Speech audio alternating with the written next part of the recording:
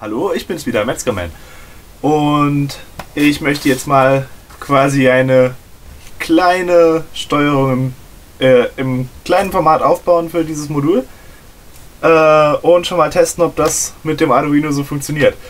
Ich habe jetzt leider keine PNP-Transistor-Arrays, das heißt, ich muss diskrete Transistoren nehmen, das sollte aber kein Problem sein. Ich will ja gerade nur mal so 3-4 Pixel oder so ansteuern, damit ich das Prinzip quasi wirklich äh, verstanden habe. So. Dann werde ich jetzt mal hier äh, aufbauen. Ich habe jetzt hier diese relativ kompliziert aussehende Schaltung auf dem Breadboard aufgebaut. Ähm, ich habe quasi jetzt äh, die, also jetzt, ich habe jetzt drei Adressbits genommen, das heißt, ich kann sieben Zeilen, äh, sieben Spalten ansteuern mit dem FP2800A und ich habe jetzt einfach mal die untersten drei äh, Zeilen jeweils für Gelb und Schwarz angeschlossen. Habe jetzt hier entsprechend äh, mit einem NPN-Array eben direkt die drei äh, Low-Side-Switches hier realisiert für die Zeilen und über ein NPN-PNP-Array, weil ich muss ja die PNP-Transistoren irgendwie schalten, daher brauche ich nochmal NPN-Transistoren als quasi Vorstufe, ähm, habe ich dann eben drei diskrete PNP-Transistoren, die die High-Side-Switch-Funktionalität realisieren. So, und ich habe auch eben ein kleines Arduino-Programm geschrieben schnell und jetzt sieht man, wenn man es einschaltet, schaltet er eben die drei Zeilen mal sieben Spalten immer abwechselnd gelb und schwarz. Äh, und tatsächlich schaltet er sie nicht gleichzeitig, sondern er schaltet sie so, so von links nach rechts, äh, beziehungsweise von rechts nach links. Aber da das so schnell geht, äh, erscheint es, als wäre es gleichzeitig. Ähm, ja, das hätte jetzt nicht passieren sollen. Es ist gerade ziemlich verraucht hier drin.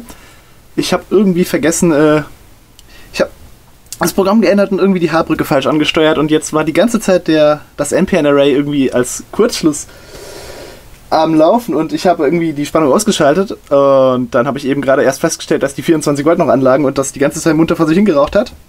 Und ja, zum Glück ist dem Ding nichts passiert, aber das Breadboard ist jetzt leider ein wenig verschmort und riecht halt nicht gerade angenehm hier drin gerade. Nachdem ich jetzt ähm, das Problem gefunden habe und entsprechend mh, mm, behoben habe, indem ich die Software angepasst habe, funktioniert nun auch die Ansteuerung der Flipdots richtig, ohne dabei Komponenten explodieren zu lassen. Und zwar war der Fehler, äh, den ich mir allerdings nicht richtig erklären kann. Äh, der Fehler war einfach, dass wenn ich quasi in einem Zug einen Pin, ähm, einen Dot schwarz und einen anderen gelb schalten wollte und die in verschiedenen Zeilen waren, ich also quasi die Zeile hier auf schwarz gelegt habe und die Zeile darunter auf gelb, dann hat das wohl einen Kurzschluss verursacht ich kann es mir ehrlich gesagt nicht erklären, aber ich habe es jetzt in meinem Programm äh, berücksichtigt und jetzt funktioniert das auch. Und ich habe jetzt mal ein kleines Testprogramm geschrieben, was hier so ein Schachbrettmuster anzeigt. Und da sieht man jetzt mal gleich, wie das hier durchläuft. So, das ist in der maximalen Geschwindigkeit und jetzt auch nochmal Schritt für Schritt. Es jetzt.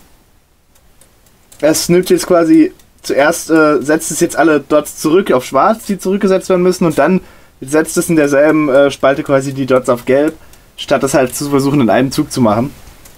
Und das geht ja auch schnell genug, also von daher kann ich damit leben. Wie man sehen kann, habe ich jetzt schon vier Zeilen und die komplette Breite der Matrix angesteuert. Und äh, ja, es funktioniert eigentlich ziemlich gut. Die einzige kleine Schwierigkeit, die ich noch hatte, war, dass ähm, die Adressierung der Spalten wohl relativ durcheinander ist. Das heißt, das ist nicht Spalte 1 und das ist nicht Spalte 28, sondern irgendwie ist 1 irgendwie hier und dann ist es hier 2 und, und 3 und 4. Das ist ein bisschen durcheinander, aber das habe ich jetzt in meinem Programm entsprechend angepasst. Und jetzt funktioniert das auch ganz gut hier.